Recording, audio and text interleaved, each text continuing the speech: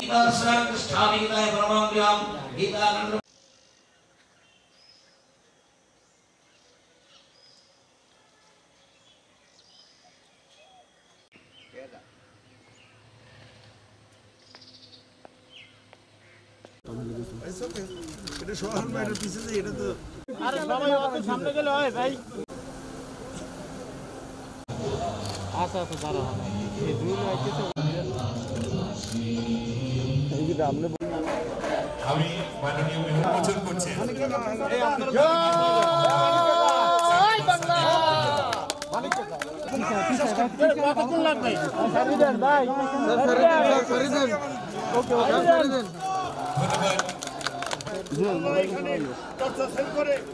আপনার বহু বন্দাকে এখানে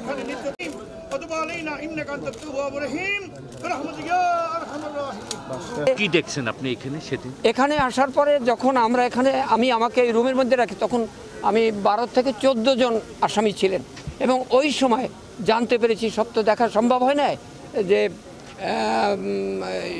জব্বার মেয়ার গলির মধ্যে যে নামটা ভুলে গেলাম। ও- ওকে ফেলাইছে। আমানতগঞ্জের শুক্কুরকে মেরে ফেলছে, টর্চার করে। তারপর কাঞ্চন ভাইকে মেরে ফেলছে। এইভাবে আরও অনেকের মানে যা আসলে শুনতে পেয়েছি। সব তো দেখা সম্ভব হয় না, উনিশ দিন এখানে ছিল। উনিশ দিন রাখার পরে আমাকে এখানে যশোর ক্যান্টনমেন্ট ক্যান্টনমেন্ট থেকে যশোর সেন্ট্রাল জেলে।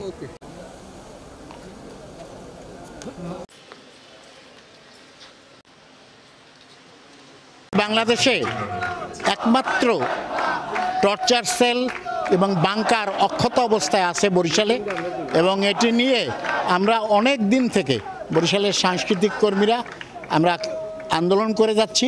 এর পিছনে লেগেছিলাম এবং সম্প্রতি এর কিছুদিন আগে মানে এর পূর্বের মেয়র আহসান হাবিব কামাল থাকা অবস্থায় যে কাজটি শুরু হয়েছিল বা শেষ হয়েছিল, সে কাজটি একেবারে কোনো মুক্তিযুদ্ধের চেতনার সাথে, কোনো রকম কোনো মিল খেয়ে। আমি কৃতজ্ঞতার সাথে বর্তমান মেয়রকে ধন্যবাদ জানাই যে তিনি এটা দেখার পরে, বিল দেওয়ার সময় দেখার পরে উনি এই কাজটিকে স্টপ করে দিয়েছেন, বিল দেননি এরপরে আমরা তাদের সাথে যোগাযোগ করি এবং মুক্তিযুদ্ধ জাদুঘর এবং university of pacific Asia pacific তাদের সহযোগিতায় আমরা মুক্তিযোদ্ধা সংসদ, বরিশাল সাংস্কৃতিক সংগঠন সমন্বয় পরিষদ আমরা একসঙ্গে যৌথভাবে কাজ করে এই পর্যন্ত আজকে এসেছি এবং উদ্বোধন করেছি। আজকে আমরা মনে করি এটা বাংলাদেশের মুক্তিযুদ্ধের ইতিহাসে একটা মাইলফলক হিসেবে বিবেচিত হবে বলে আমি মনে করি।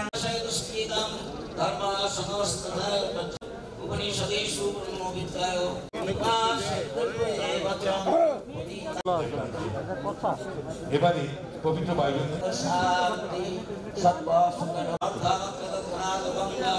আটকে ধরলেন এই নির্যাতনের সাথে সারা জীবন স্মরণ করবে এই নেতা এবং মৃত মানবের অরক্ষিত পচা মাংস। আপনারা জানেন যে আমি দায়িত্ব নেওয়ার পরে যখন এটির একটি বিলের যখন এটা বিল নেওয়ার জন্য আসলো তখন আমি দেখতে আসলাম। এটা দেখতে আসার পরে মুক্তিযোদ্ধারা একটি কমিটি ছিল তাদের সাথে কথা বললাম। আমার কাছে মনে হয়েছে এটা এইভাবে এই এইটা এইভাবে হওয়ার কথা না। এটি আমাদের চেতনার বিষয়, এটি আমাদের মুক্তিযুদ্ধের আমি আমি, আমা- চেয়েছি, আমি চাচ্ছি যে নতুন যে প্রজন্ম আছে, তারা যেন এসে এই জায়গাটা সেই ফিলিংসটা পায় এবং সেই তাদের মধ্যে এই যে আমাদের চেতনার জায়গাটা, মুক্তিযুদ্ধের যে চেতনার কথা আমরা মুখে বলি, আমার, আমি আমি বিশ্বাস করি তারা এখানে আসলে পরে, এই যে কলেজের স্যারদের দাওয়াত দিয়েছি স্কুল কলেজ থেকে আসবে, তারা জানবে, তারা আরও সমৃদ্ধ হবে মুক্তিযুদ্ধের চেতনা। আগের মতো সন্ধ্যা হলে জ্বলে ওঠে না। প্রিয় দর্শক, কেমন লাগল আমাদের প্রতিবেদনটি? কোনো মন্তব্য বা প্রশ্ন থাকলে আমাদের জানান এবং আমাদের চ্যানেলটি সাবস্ক্রাইব করুন।